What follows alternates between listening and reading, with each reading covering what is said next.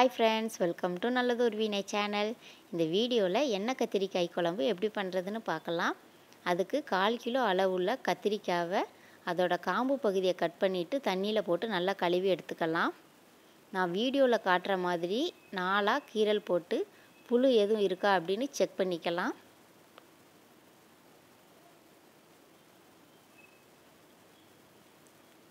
எல்லா கத்திரிக்காயையும் அழகாக கீரல் போட்டு புழு இருக்கான்னு செக் பண்ணியாச்சு. அடுத்ததாக நம்ம குழம்பு செஞ்சிடலாம். ஸ்டவ்வில் ஒரு மண் சட்டி வச்சுருக்கேன். சட்டி சூடானதும் அதில் மூணுலேருந்து நாலு டேபிள் ஸ்பூன் அளவுக்கு நல்லெண்ணெய் சேர்த்துக்கலாம். எண்ணெய் மிதமான சூட்டில் இருக்கும்போது நம்ம கட் பண்ணி வச்சுருக்கிற கத்திரிக்காவை மெதுவாக சேர்த்துக்கலாம்.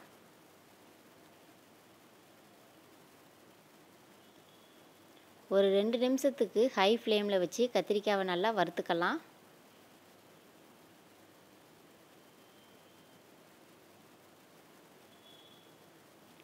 இந்த மாதிரி லைட்டாக கலர் மாதிரி வந்ததும் லோ ஃப்ளேமில் வச்சு அடிக்கடி கலந்து கொடுத்து கத்திரிக்காயை ஒரு முக்கால்வாசி அளவுக்கு நல்லா வேக வச்சு எடுத்துக்கலாம்.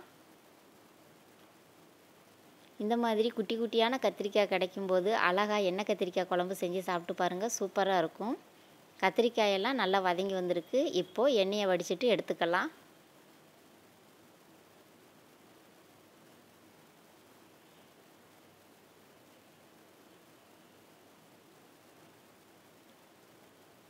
அடுத்ததாக அதே எண்ணெயில் அரை ஸ்பூன் அளவுக்கு வெந்தயம் அரை ஸ்பூன் அளவு கடுகு சேர்த்து நல்லா பொரிய விட்டுறலாம். இது கூடவே ஒரு அஞ்சாறு போல் மிளகும் சேர்த்துக்கலாம்.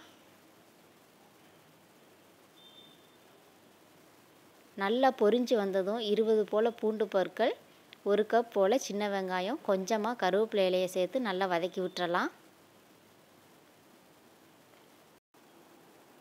நீங்கள் எந்த ஒரு காரக்குழம்பு வச்சாலும் நிறைய சின்ன வெங்காயம் சேர்த்து செஞ்சு பாருங்கள் குழம்போட டேஸ்ட்டும் சூப்பராக இருக்கும். ஹெல்த்துக்கும் ரொம்ப ரொம்ப நல்லது.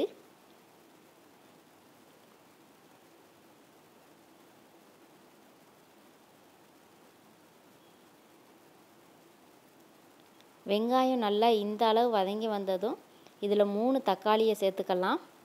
தக்காளி சீக்கிரம் வதங்கி வர அரை ஸ்பூன் அளவு கல்லுப்பு சேர்த்து நல்லா வதக்கி விட்டுறலாம்.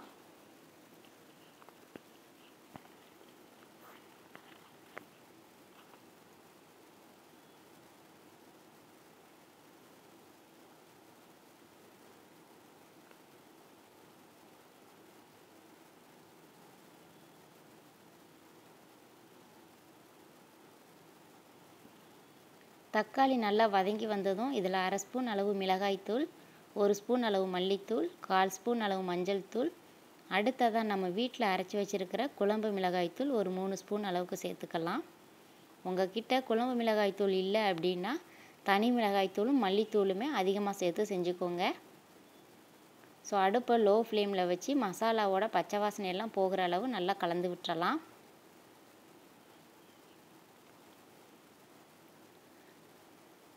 இந்த சமயத்தில் நாம் எண்ணெயில் நல்லா வறுத்து வச்சுருக்கிற கத்திரிக்காயையும் சேர்த்து நல்லா கலந்து விட்டுறலாம்.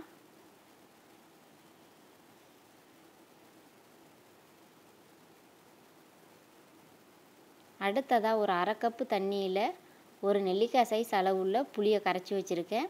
அதை சேர்த்துட்டு குழம்புக்கு தேவையான அளவு தண்ணியும் சேர்த்து நல்லா கலந்து விட்டுறலாம். இந்த சமயத்தில் உப்பு செக் பண்ணிவிட்டு தேவைன்னா சேர்த்துக்கோங்க. இப்போ அடுப்பை மீடியம் ஃப்ளேமில் வச்சு ஒரு ஏழுலேருந்து எட்டு நிமிஷத்துக்கு நல்லா கொதிக்க விட்டுறலாம்.